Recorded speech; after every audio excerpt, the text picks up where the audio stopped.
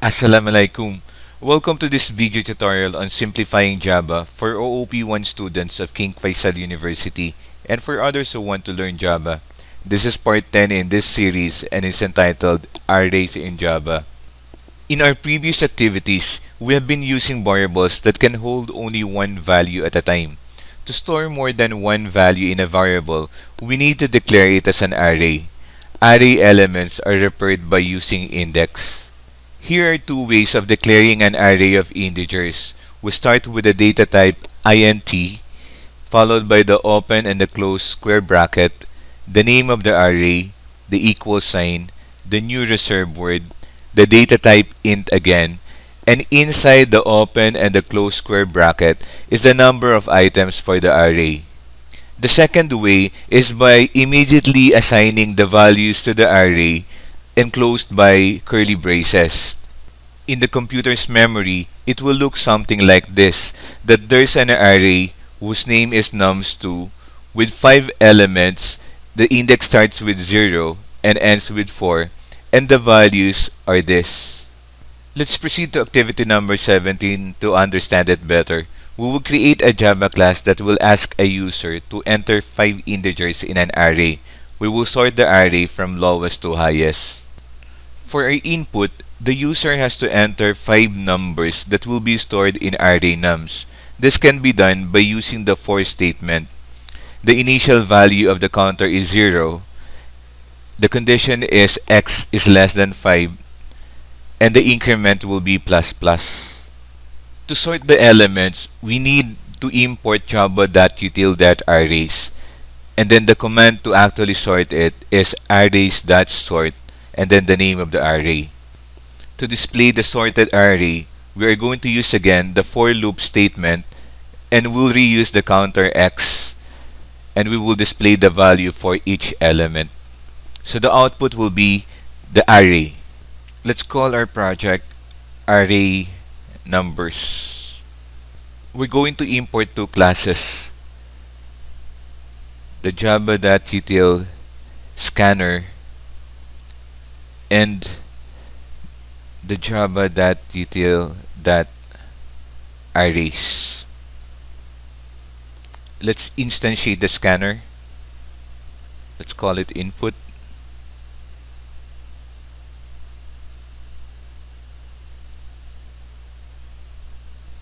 Let's declare our array of type integer. Let's call it nums. With 5 elements. Let's also declare our counter. We'll call it x. For input, we will use the for statement.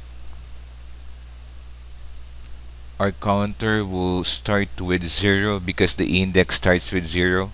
Our condition is while the counter is less than 5 and it will be an increment for our counter.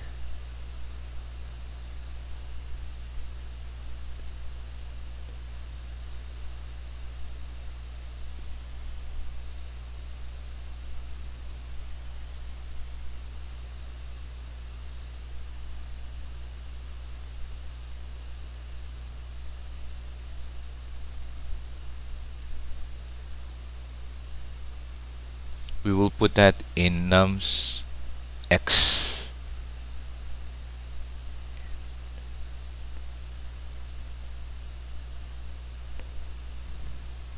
To sort the values from lowest to highest we will use arrays that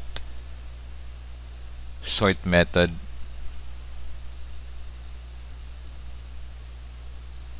To display the sorted elements, we will just copy the for statement above we don't need this line so we'll delete it. And we'll just alter our values plus nums x. And we'll use print line instead. Let's try to run our program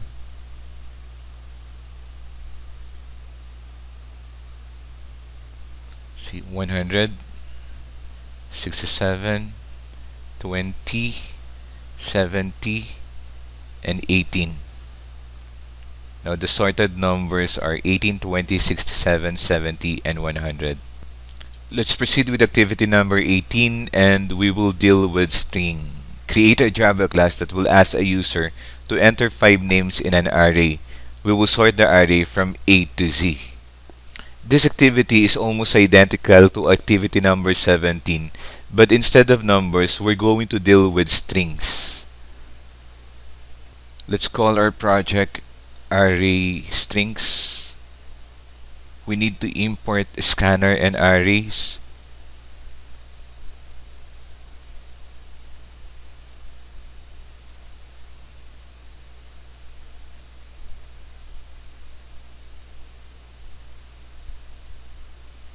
Let's instantiate our scanner. Let's call it input.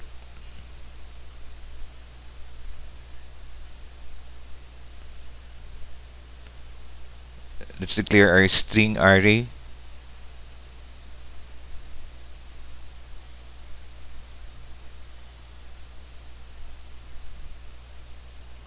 Of five elements and our counter we'll ask the user to input five names using for statement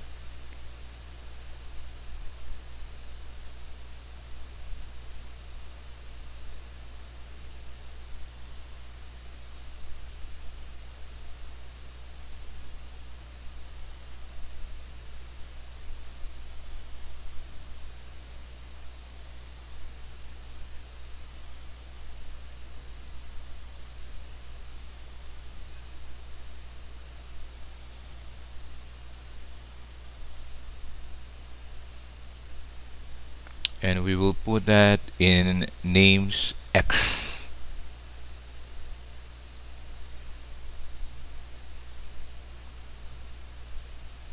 We will sort it again by using the method sort from array class. And we will display the result by copying the first for statement again we don't need the second lane. We'll just change our contents.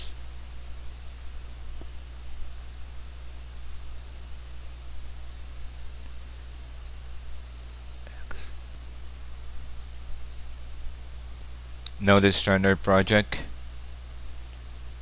Enter five numbers. Salim. Saeed Walid, Abdallah, and Ahmed. When arranged alphabetically, it will start with Abdallah, followed by Ahmed, Saeed, Salim, and Walid. That will do for now. Thank you for taking the time to watch this video.